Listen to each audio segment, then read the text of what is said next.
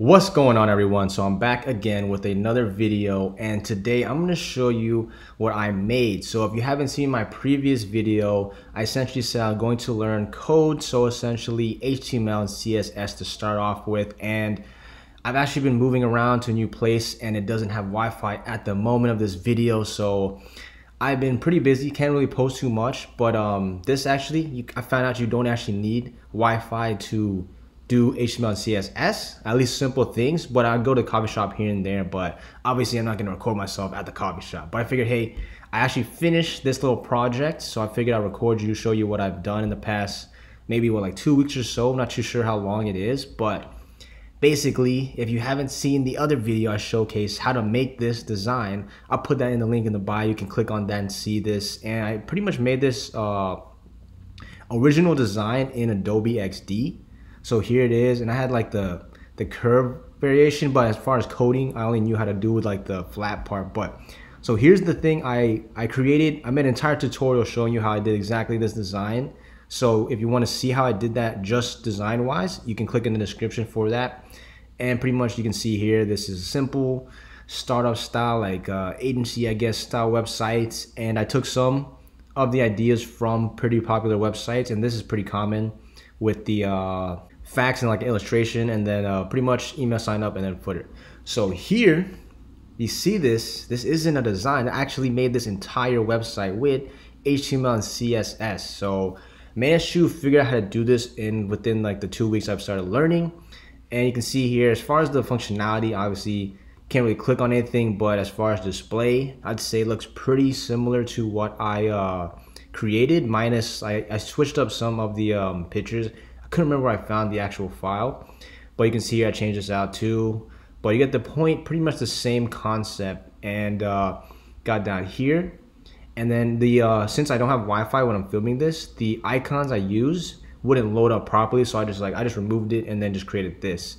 But get this, check this out. So if I uh, go over here, I made it mobile responsive as well. Now note my code is not super clean. Obviously, you know, I'm just learning. I'm sure people out there have much better ways to uh, make it mobile responsive, but I'm just trying to do this with what I have. And also, fun thing is when I'm learning code without Wi-Fi is I'm very, very limited to what I studied on a course or I only can use my phone to look up something. So if I can't figure it out, I'll just start making something that looks like it works. And so far I mean it looks pretty decent but uh, obviously there's better ways to make it uh, cleaner. But pretty much when I scroll you can see here once it gets to a certain width it'll actually this illustration will disappear.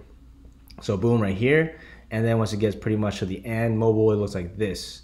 And then same section here so I can show you. This part took me forever to figure out. It's not the cleanest obviously. I might just like remove it but um, basically like once it gets to this, it'll like wrap under it, and then you keep pushing it in, and then uh, the the illustrations disappear. So like the sizing was part. This part's not the best, I'd say, um, in terms of uh, like smoothness. But again, obviously, you know, I'm still learning, so I can't really be too crazy on it. But here, basically on this part, the difference was uh, the illustration disappears here. So you can see, let me do on both.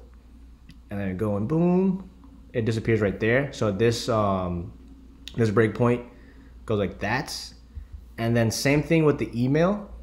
On mobile, I decided to do this just for fun and it just goes full width so that when you scroll like that.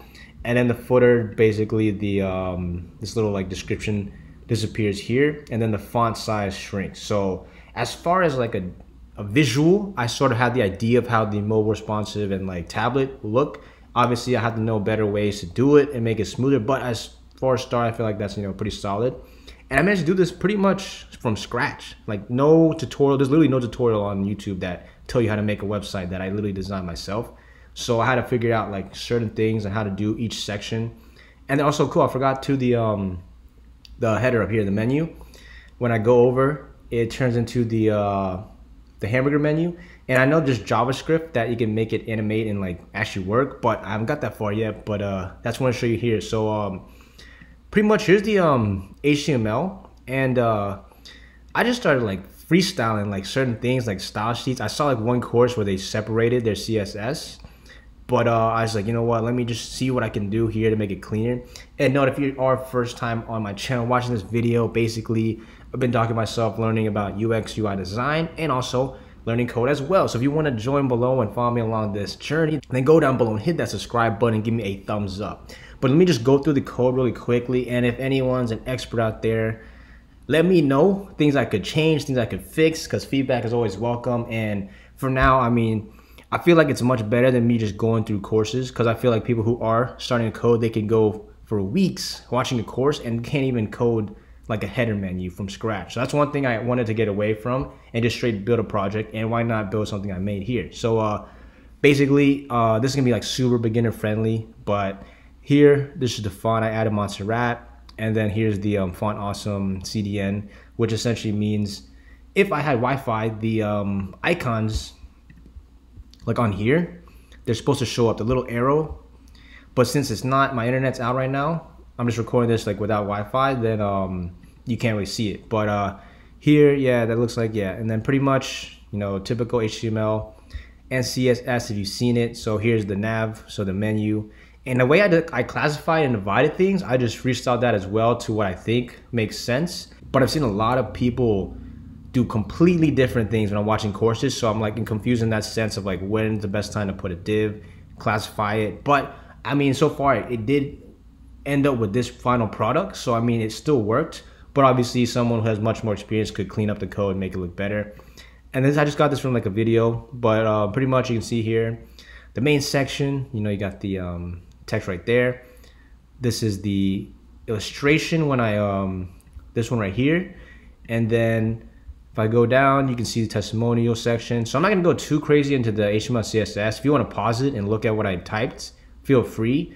And if you want me to make this from scratch, like entirely the way I did this, feel free to let me know in the comments below. But just note that obviously there's better ways to code it. And then I'm just gonna scroll through really quickly in case people wanna check out my code, let me know if anything I can improve. And we go down here. This is the, um, like down here, that section email section here and then um, I had the icons inputted but like you can't see them so like when I open it up I had all the icons downloaded. I thought it would work but since my internet's out I can't do that. But yeah pretty much here and then it's a footer right there. So nothing crazy. And then I uh, basically style is like the main uh, like style. So pretty much the main gist of the website design and then I have, I believe I have mobile responsive somewhere, yeah, down here. And I think this is for like the first sections. And then it got to the point where like you see how much I have to scroll just to like figure out what I'm doing. So I just basically changed it. So for instance, like the footer, it's all in this tab right here. So when I'm doing mobile responsive editing, all I need to do is look on this tab and I can see everything for footer. So if I want to change something from responsive is right there. Email section right here is all right there responsive. Um, I think yeah, man, yeah. So this is this part right here. This part was tough. I still don't know. Um, I I couldn't. I can't remember what site I took this like design style from, so I couldn't remember or see what they actually did in terms of um, responsiveness for mobile. But for like the actual um, desktop, like this is what it looks like. But I was just freestyling for this one, just practicing this. And this one was Z index and like you had to change like the um, top left positioning pretty difficult um, from scratch without any like expertise in it, but you know, I mean, not bad for just doing it first time. And then basically that's pretty much it. So um, nothing too crazy, nothing fancy, but let me know um, if you did notice certain ways or much easier ways to make this mobile responsive. Because I'll probably have to watch more um, content on that in the future.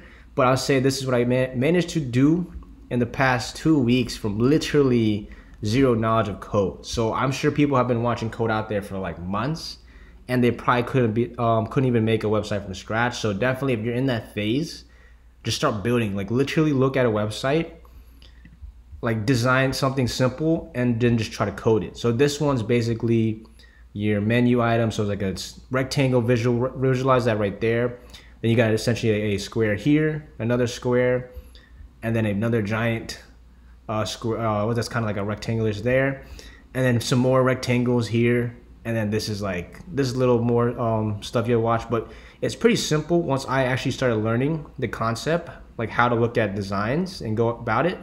But so far, it's pretty uh, basic, nothing too fancy website. I'm pretty sure anyone with basic HTML CSS could code this fairly easy. But uh, eventually I want to get to the point where I can code a lot more fancy stuff, but we'll see as far as my schedule and what I'm working on, if I can continue going in on the code or am I gonna focus more on the design route, but definitely let me know what you think about this. Comment down below if you're also learning code or design and let's connect. Hit that subscribe button, give me a thumbs up, and I'll see you in the next video. Peace.